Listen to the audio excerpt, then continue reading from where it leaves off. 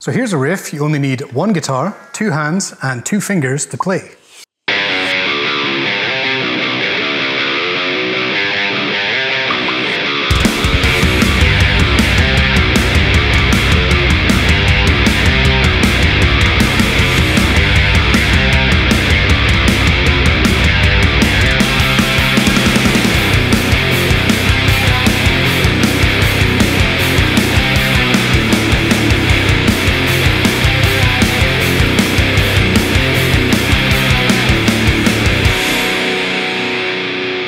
So this awesome riff is taken from a song called Left Behind from none other than Slipknot, and it's from their second album, Iowa, from 2001.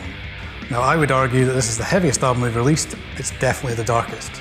Now the guitar I'm using for this is aptly chosen because it's Jim Root's signature Stratocaster, so let's just take a moment to look at how cool this is. I recently just finished a video chatting all about this guitar, and I don't know if it'll be released in relation to this, but if it is, we'll put a link up in one of these corners or in the comments box below. So typically Slipknot tend to use drop B tuning, so the notes are C sharp, G sharp, E, B, F sharp and B, and it sounds like this.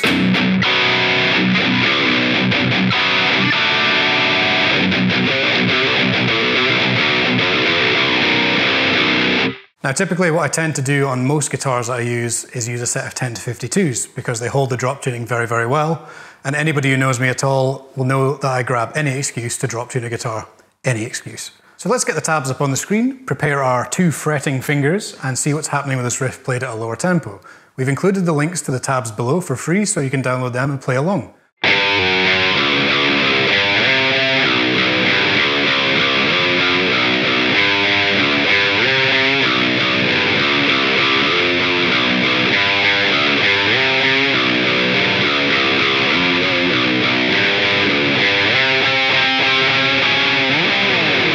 Let's play that a little bit faster now.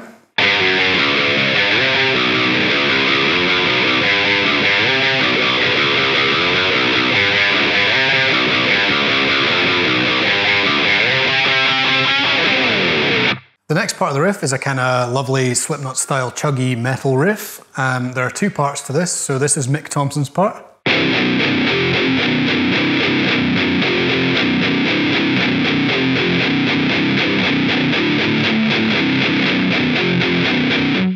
And Jim Root plays this really cool part over the top of it. So at a lower speed, it goes like this.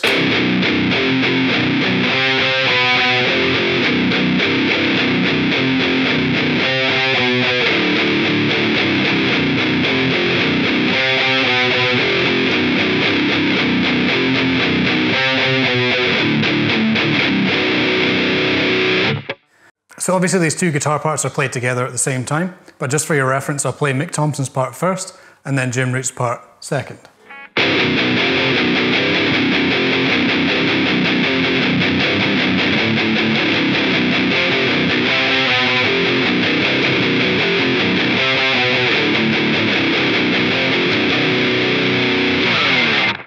So there you have a few riffs taken from Slipknot's back catalogue. There are so many riffs to choose from over the past 20 years or so of music.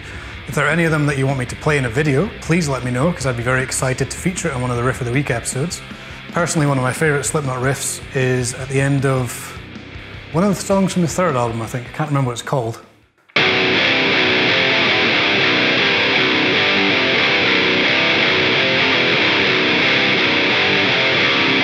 Sulphur, that's the name of the song. I remembered it as I was playing it. So if you've made it to this part of the video, well done. Obviously Slipknot and all the heaviness and also my face hasn't scared you off. Join me again next week for a Riff of the Week episode. As always, like, comment, and subscribe. It all helps our channel. I'll see you later.